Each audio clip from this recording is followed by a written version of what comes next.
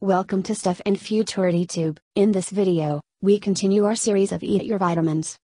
In Vitamin A, Part 1, we learned about food sources packed with vitamin A. And here we're gonna raise your awareness about kale. What is kale? Kale is a nutrient dense food and a member of the cabbage family. It is a best of all world food, low in calories and packed to the hilt with several vitamins, minerals, and antioxidants. The most common variety is deep green, but other kales are yellow green, white, red, or purple, with either flat or ruffled leaves, according to Berkeley Wellness at University of California, Berkeley School of Public Health. The colored varieties, sometimes called salad savoy, are most often grown for ornamental purposes, but they're edible. Kale is one of the healthiest and most nutrient-dense foods you can eat. Kale is a nutrient-dense food, as it's low in calories and high in many important vitamins, minerals, and antioxidants. For example, 1 cup, 21 grams, of raw kale contains only 7 calories but is an excellent source of vitamins A, C, and K.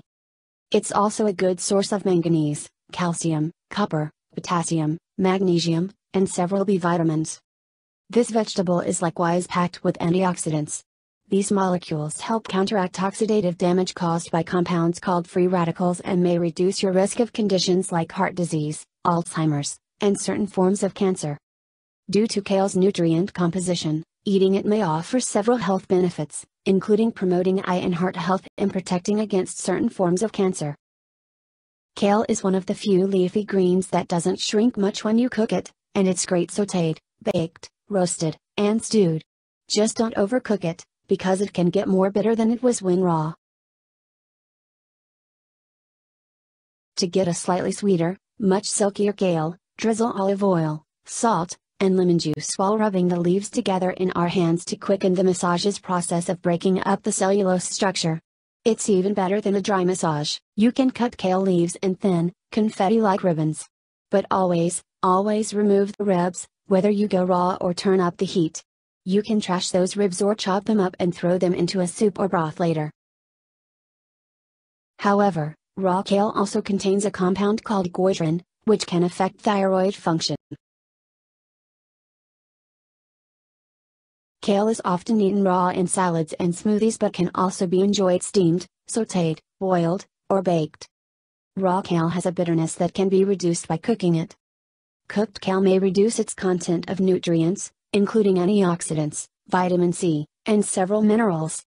Compared with raw kale, all cooking methods resulted in a significant reduction in total antioxidants and minerals, including calcium, potassium, iron, zinc, and magnesium.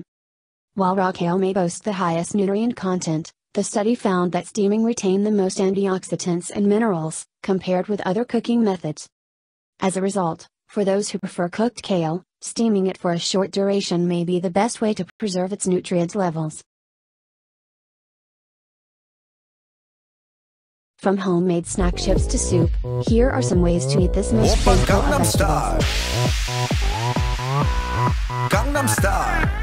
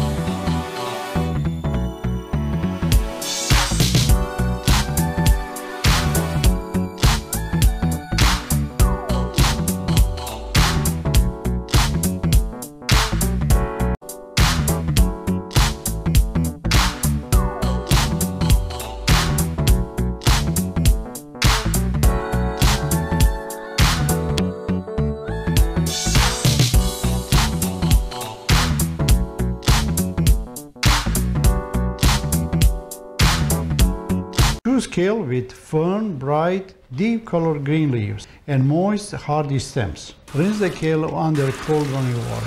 Cutting kale is what, one of the nature's miracles. Science tells us that by simply cutting kale leaves into quarter inch slices, you'll open the cell's walls, activate enzymes, and help form even more health promoting nutrients. Because it takes time for the additional nutrients to develop, it's best to let the kale sit for 5 to 10 minutes after you cut it. Use stainless steamer like this one I'm using. Put the kale in the steamer and set a timer for 5 minutes. Add 1 clove of chopped garlic, 1 tablespoon lemon juice, sea salt and pepper, 3 tablespoons extra virgin olive oil. It is important to cut kale a second time because cutting blends all the ingredients together as one and makes the kale taste great. You could add chopped sun-dried tomato, olives, crumbled feta cheese, 5 drops of the tamari soy sauce,